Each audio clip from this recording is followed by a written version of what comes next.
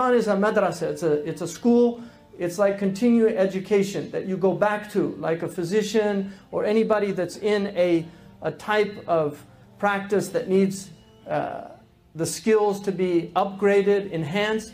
Ramadan is the yearly time that we return to this school of taqwa and of sabr. The Jumu'ah is the weekly time. The prayers are the daily times that we return, we realign ourselves with the divine.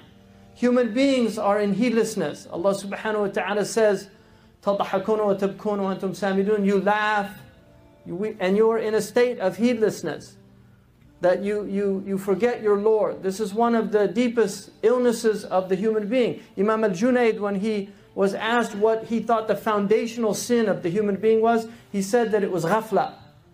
It was heedlessness because all sins emanate from heedlessness. But there's another reason why Allah subhanahu wa ta'ala gave us this uh, practice of fasting. In the, in the verses that follow, Allah subhanahu wa ta'ala says, first of all, لَعَلَكُمْ تَتَّقُونَ أَيَّامٍ مَعْدُودَاتٍ Ayyam is called jam'u qilla. It's a a plural of paucity. It's a plural that indicates that there, there is not much of it, like amwal. Because wealth, mal, there's not much of wealth. People don't have a lot of wealth. So amwal is the plural of wealth to indicate that wealth is something that is limited. Ayam al-ma'dudat, limited days. You have a few days. And then وَمَنْ كَانَ مِنْكُمْ مَرِيضًا أو على سفر فعدة من أيام أخر but you can make up those days if you were sick or traveling وعلى الذين يطيقونه فدية طعام مساكين or فدية طعام مسكين that if you if you're uh, if, if, if you, you're able to do it, then you can give fidya, so you pay. That was abrogated uh, by the verses that follow. فَمَنْ شَهِدَ مِنْكُمْ الشَّهْرَ فَلْيَصُمْهُ So people used to be able to do fidya if they were wealthy, they could do fidya but that was removed. And everybody has to fast unless you're sick, uh, and then you can do fidya for that. But other than that, everybody has to fast.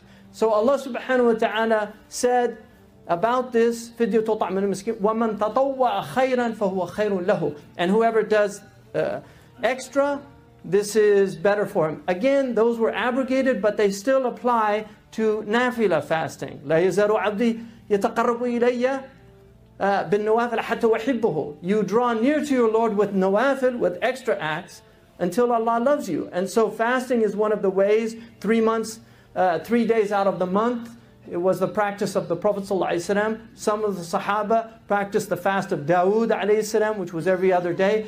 Some practiced Monday and Thursday.